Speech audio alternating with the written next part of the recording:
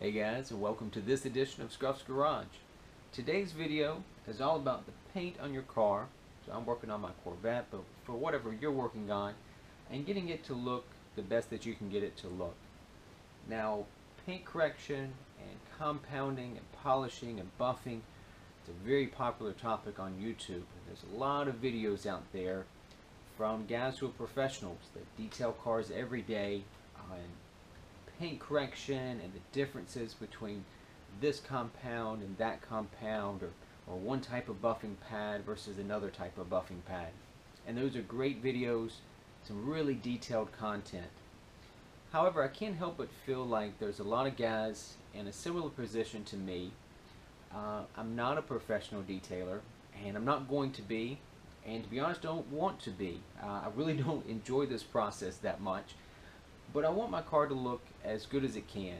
Uh, and I realize that from time to time I need to do some light paint correction or paint enhancement, whatever you want to call it. Uh, so that's my goal with this video.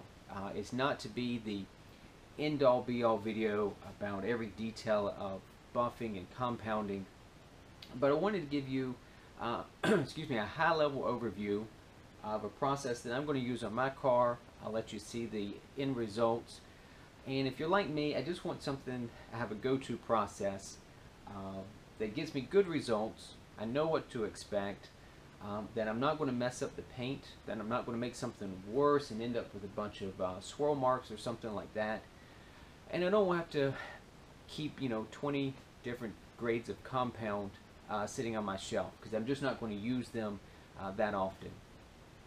So for this project, I've compounded and buffed the car once when I first got it. Uh, it was back before I made uh, YouTube videos for this channel and it made a world of difference. Uh, this poor car um, by the previous owner left it outside in the parking lot for most of its life. It's only in recent years that it started living in a garage and the paint was oxidized and kind of hazed over really bad and it made a world of difference uh, when I compounded it, polished it, and waxed it, uh, really brought it to life. But that was several years ago. I've got the new engine back in it. I know spring's around the corner, so I wanted to get the car looking good again. So let's dive into the project. I'll share with you what I'm going to use, and I'll show you my process, a few tips that I've learned along the way, and hopefully you can benefit from it too. Okay, so let's talk for a moment about what products we're going to use. So we're starting from the position that you've already washed the car and that you've dried it. So our first step in the process uh, will be a clay bar kit. So I'm going to use the Meguiar's kit, but there's plenty of them out there, and they're all essentially the same. You got a little bit of a quick detailer and then a bar of clay. And if you haven't detailed a car or clay barred a car before, I highly recommend it. It's very satisfying. Um, it's amazing the amount of gunk that comes off your paint uh, even a car that you just washed. Then we're going to move on to the compounding uh, step. Now, if your car, your paint is in really good condition, you probably don't need to compound it. Uh, and it's not something you'd want to do every single time you detail the car. Because compounding, you're actually taking off a little bit of the um, clear coat of the car, right? If you get a scratch, you got to wear down the clear coat enough that that scratch goes away. But if you do have some scratches or swirls that you need to compound out, so the first time I did my car, I used the Meguiar's Ultimate Compound. And you can get this pretty much in any auto parts store, Walmart, places like that. And it's really safe, does a really good job, uh, no issues there. I, I do highly recommend it. I had good success with it the first time. However, I didn't get all the scratches out, uh, or I've got some hard water marks in the, the top coat that it, this didn't get out last time. so I'm going to step it up and go to their M105. It's their Ultra Cut compound. So I'm stepping it up a little bit uh, this time, and we'll see what kind of results uh, we get from this. Either one of these, compounding, I'm going to use an orange pad. This is a, uh, a medium cutting pad. you can get a more aggressive cutting pad, but orange is a, is a good middle ground to start with. Excuse me. It's pretty safe. You're not likely to mess up the paint with this. when we move on to the polishing step, again, I'm going to use the Meguiar's Ultimate Polish again. I had really good success with that last time. I'm going to use it again, and I'm going to polish with a white uh, pad. This is a polishing pad. And then for the wax, uh, again, Meguiar's, I, I, like their stuff. This is their Gold Class Carnauba, um, and I'm going to apply that with a black pad. Um, that's a finishing pad. It has no cutting to it whatsoever. Uh, so that's not going to change the finish. I'm just for applying and working in the wax. I'm using a Harbor Freight dual action uh, polisher. There are a number of high-end dual action polishers on the market, a number of them. You can spend a lot of money on a dual action polisher. And if you're doing cars all the time, whether uh, for personal use or professionally, then maybe it's worth investing. Uh, but for me, the Harbor Freight did a great job last time, and for the money spent, it got me where I needed to go. I did change out the backing plate on the um, Harbor Freight. I went to a 5 inch backing plate, and I'm using 5.5 inch uh, foam pads. You want the foam pad to be just a little bit larger than the backing plate. And if you can see, I'll move the camera over just a pinch. We can talk about it more in a minute. Uh, but I also put a mark on the backing plate. And I'll, I'll, show you, but it helps you keep up with if the backing plate is spinning. If you put too much pressure on a dual action polisher, it stops spinning. And that helps prevent from burning the paint. Uh, if you get it on an edge or something like that, which is a good feature, but you need to know when it's not working anymore. The other thing I'll show you so I'll, I'll also mention, you'll go through these pads. I have two uh, of each of the pads.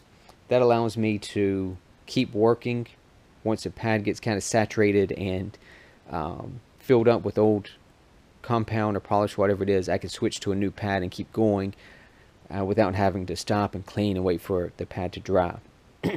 Talking about cleaning a pad, this is a product from Wolfgang I think I got this from AutoGeek. I'm sure there are other brands out there. They, I'm sure they all work the same. Uh, but this is a pad cleaner. Um, and then a scrub brush. So once you've got this thing loaded down with compound, when you go back to clean it, you can spritz some of this on there and then uh, work it with the, uh, the scrub brush. And that'll help get the old compound out of your pad and then you can rinse it out and let it dry. And then the final thing, and I'm not going to do it in this video, but I did it when I first bought the car. If you have scratches in the glass, I'll angle this down just a pinch. If you have scratches in your like your windshield glass or side glass, you can also polish the glass. Now glass is very hard and it takes a lot of time. Uh, it's not like paint where you go over it four or five times and the scratch or swirl mark is gone. Glass is harder, so you have to keep going over it. So a glass buffing pad does not have any backing to it, right? This is, you know, an inch thick or whatever. This is no cushion. You can put a lot more pressure on this. And then this is a product called Ceriglass, uh, but it's for glass polishing and cleaning. And I had decent success with it. I had some windshield wiper scratches uh, that this helped take out when I first got the car. But this makes a huge mess. You really got to plan ahead. Uh, do this first and, you know, tape up and put uh, plastic down everything around the, the windshield or whatever piece of glass you're, you're cleaning because this slings all over the place. You got to keep this wet uh, so you don't put too much heat into the into the glass and crack it. But, you know, each time you get this wet, it keeps wanting to, to sling uh, material out. But anyway, that's just an FYI. Should you need to do this at some point, this is what you could use. Okay, I'm also going to do a quick walk around of the vehicle just to show you a few areas um, that I hope to make some improvement in. You see some of the hard water spots. And then back here, of course, where I took off the emblem Hopefully I can make this a little better. And again, you can see some of the hard water spots. This car sat outside at various points in its life.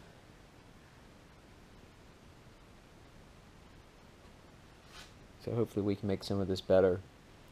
Okay, so clay barring a car uh, is really easy. So you got a little quick detailer, and you got your bar of clay.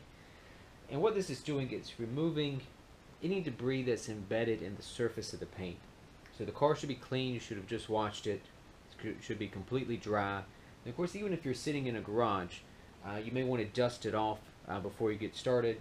Uh, just reduces the amount of contaminants that end up in your, your clay bar.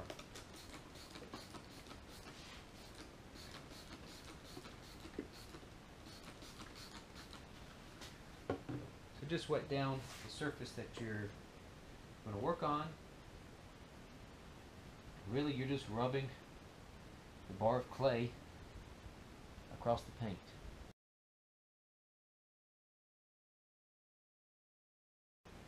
See that? so my paint not it's not too bad. Like I said, I've done this before on this car, but you can see as the, the clay starts to darken, that's where it's picking up contaminants that are embedded in the paint. So then we'll just wipe this down with a uh, microfiber towel and we'll keep moving. And really, you should just focus, you should do all the car, but it's going to be the horizontal flat surfaces where anything that's falling would settle. Uh, you'll notice you probably won't end up with a lot of uh, debris on the sides of the car, but the hood, deck lid, stuff like that, that's where you're going to get the most off uh, most benefit from the clay bar. Oh, and I forgot to mention the best part. So after you wipe down the area that you just clay barred, so take an area where you, you haven't gone over yet, feel it, it's clean but just a little rough, then come over an area where you just clay barred.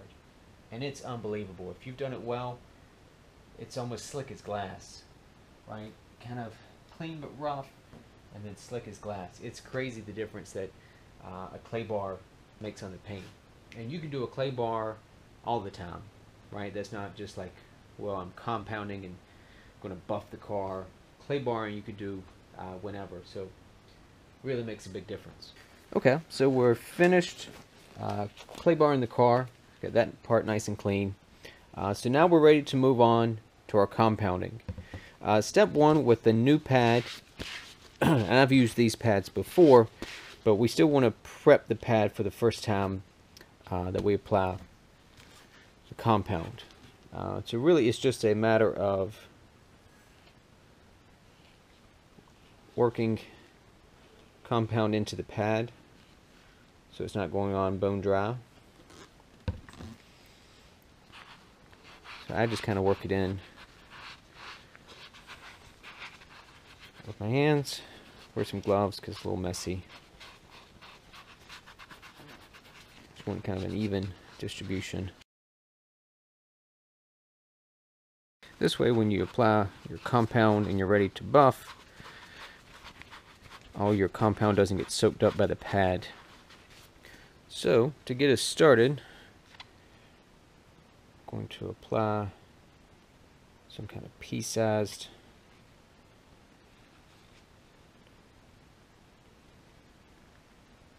dots. Okay, so we're over at the car. Um, you want to work in small sections, say two by two. If you go too large, uh, the compound starts drying out before you really get a chance to work the abrasives. Uh, you want to spread it a little bit to get you started. And then always start and stop your polisher, uh, yeah, your dual action polisher with it sitting on the car. Otherwise, if you lift up on it, it's going to sling polish uh, all over the place. We're going to start maybe speed two, two and a half, uh, just to kind of spread out uh, the compound and then we'll turn it up when we actually start polishing.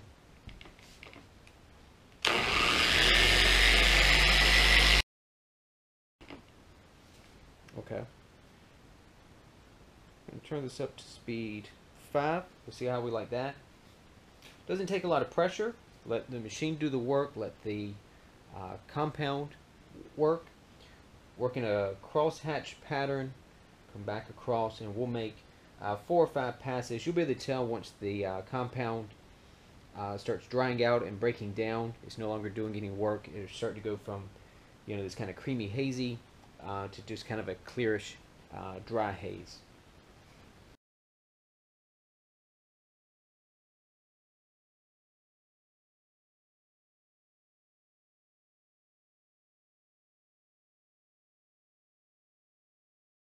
Okay, so we'll wipe this down, see how it looks, and decide if we want to make a second pass with it, uh, or if we're happy with it, then we can move on to the rest of the car. Get a clean micro microfiber towel.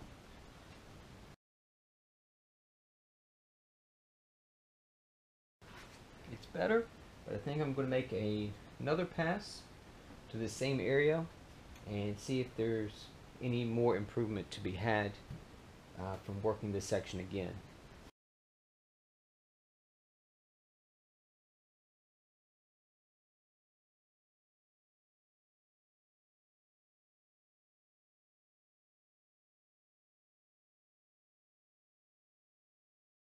So it's definitely a big improvement. Still got some hard water spots that I don't know if they're going to come out. Okay, so I've made my way around to the back of the car. I'm still uh, compounding, but I thought I would do the, um, this side's been compounded, this side hasn't, uh, with the tape. And sometimes, especially this car wasn't that bad as far as oxidation and, and that sort of thing. So visually, it's kind of hard sometimes to see uh, the results of your work. Um, but doing something like this can kind of give you an idea of what sort of change uh, you're getting from the compounding. So, there we go. I think you kind of get a decent look at that and get it where not such a bad reflection.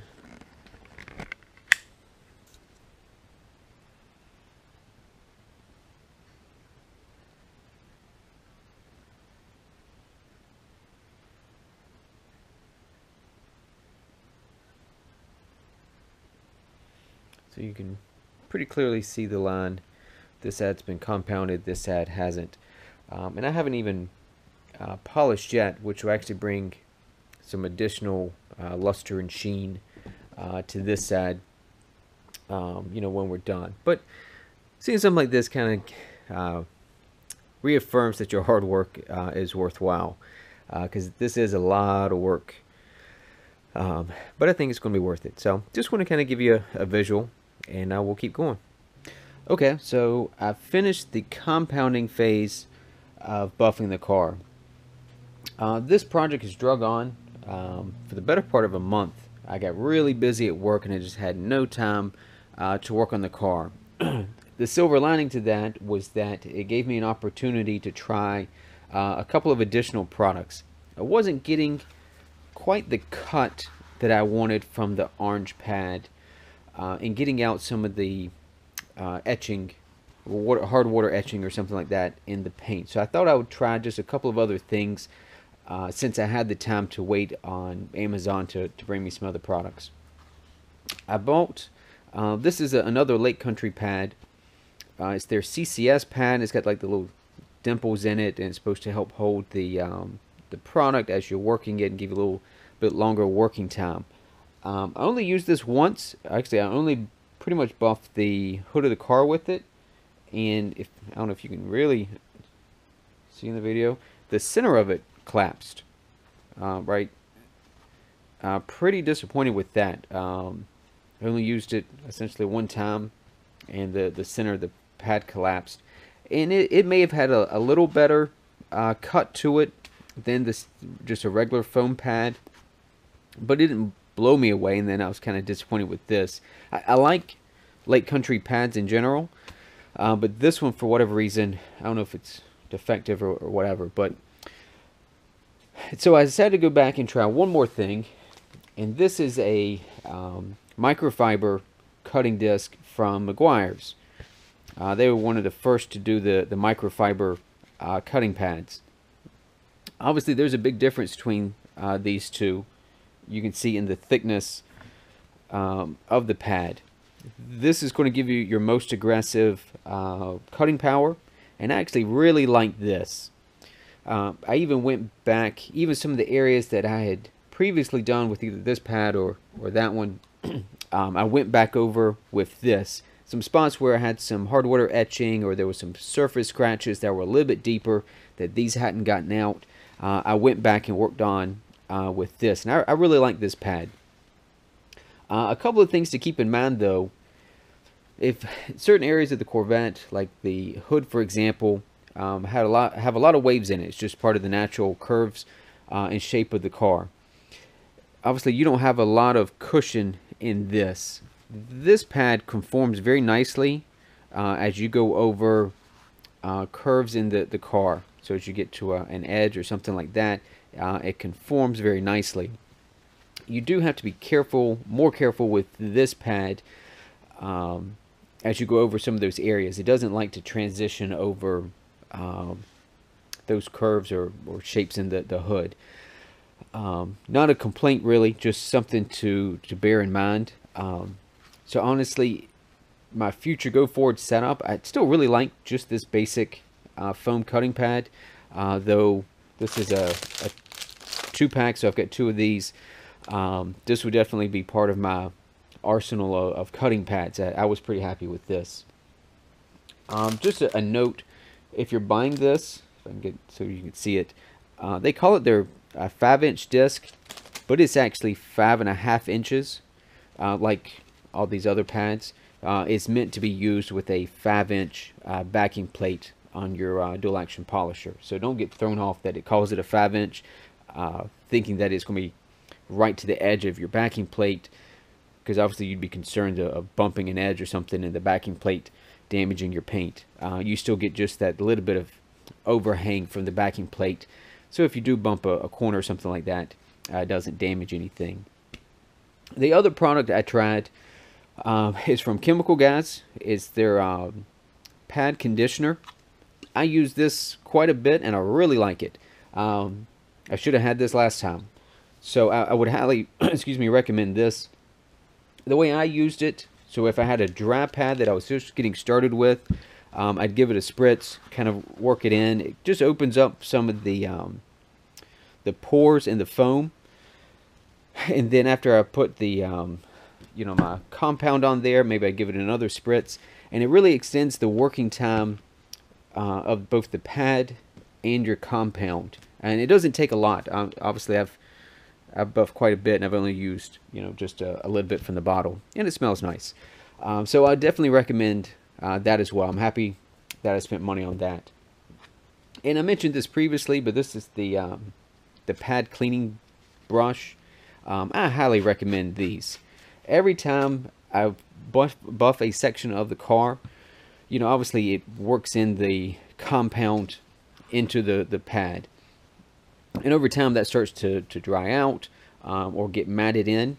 So literally every time I finish buffing a section, I come over and I go over the pad and it helps get any of the dry stuff out of the pad.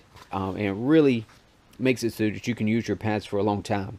So between this and this, uh, you get some really good work time um, out of your pads. So this is where we're at at the moment. Uh, we've compounded the whole car. Um, and I'll be honest, I really like how the uh, the Meguiar's uh, Ultra Cut compound finish is out. You know, sometimes you get like a haze after you've compounded the car, which is why you typically have to follow it uh, with a polishing step. The Meguiar's stuff seems to finish out really well. There's only a slight haze to certain areas.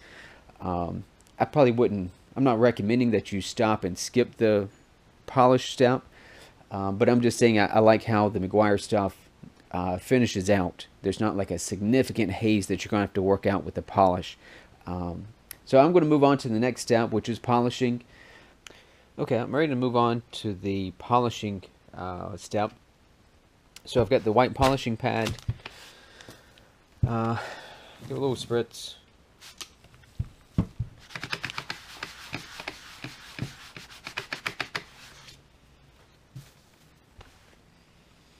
And then I've as I showed you earlier, I'm going to use the Meguiar's uh, Ultimate Polish. I've used this before in the car, and I was pretty happy with the uh, results.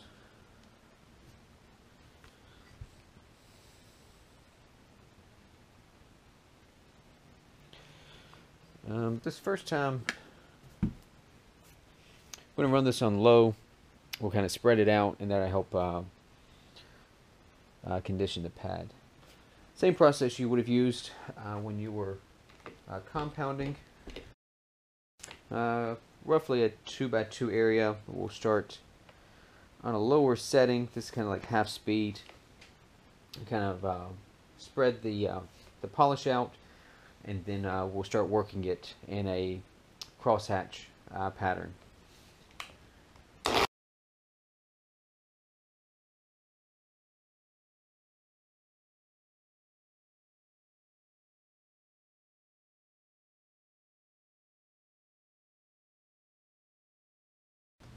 Okay, that's the process. Uh, take a moment, if it's the first section you've worked on, uh, get the light on it just right, kind of inspect your work, make sure you're happy with the results that are that you're getting. Uh, if you need to adjust something, now's the time to do it uh, before you go through the entire car. But I think we're headed the right direction. So I'm going to repeat this about a hundred times on the rest of the car, and um, we'll keep moving. Okay, so we're down to our final step in the process. Uh, by this point, right, you washed the car, you clay barred it, you did a uh, the compound, and you polished. Uh, if you need to apply any spots for uh, touch-up paint, that would be the time to do it after you finish polishing. Um, I had a few spots in the front bumper. I did some uh, touch-up paint. um, and typically, you should wait uh, a couple of days for the touch-up paint to finish curing uh, before you go over it with the wax. Um, it'll help it adhere a little better. Uh, it's kind of tough to do if you're trying to get everything done uh, in a single weekend, but for me it worked out. Uh, I've got to work during the week and I just don't have time to mess with the car, so just doing on the weekend so it had plenty of time uh, to cure. So anyway, we're ready to apply um, our wax, right? We want to protect the finish that we've worked so hard to, uh, to create. So I'm going to use the Meguiar's uh, Carnauba liquid wax. Uh, there are several uh, good waxes on the market. Use whatever uh, makes you happy. Uh, you apply the wax with one of the black uh, pads. There's no, these are really soft pads. There's no cut to these, right? You're just spreading the wax. So that's kind of the difference in this step. we're no longer working the paint like we were with the compound or the polish. you know, trying to change the the surface of the paint.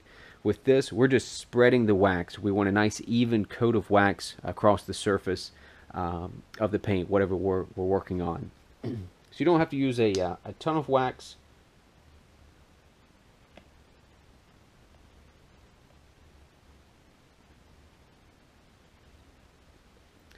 The nice thing about this, you can actually work uh, larger sections than say if you were compounding or, or polishing, right? You kind of typically want just a little 2 by 2 section. With wax, you can do maybe an entire hood, a whole side of the car, because um, you got to let the wax dry uh, anyway before you wipe it off. So I'll just kind of show you the, the real basic. I don't have the speed very high on the, the machine, but uh, I'll show you over on the car. Okay, so I'm going to apply the wax. Um, I've got it on kind of a, a medium setting on the wax uh, on the dual action polisher like I said, we're just spreading the, the wax so it's not like you don't have to apply pressure and work it into the paint. Uh, it's not going to do anything. There's no cut to this pad, so we're just spreading the wax around.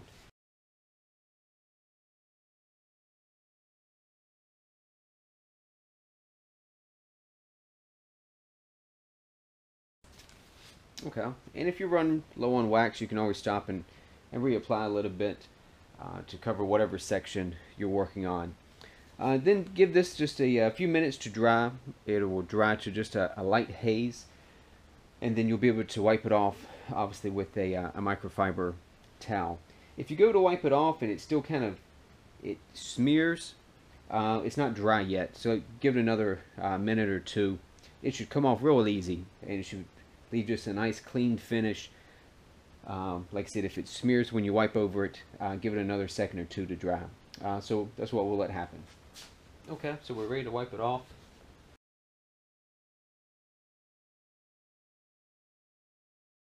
Okay, there we go. So the applying the wax step is really easy and it goes much faster than the compounding or, or the polishing. Uh, you can do large sections then while that dries, you can move on to the next section. And then while that dries, you can come back and wipe off uh, the excess excess wax on the first section. So uh, this part will go pretty quick.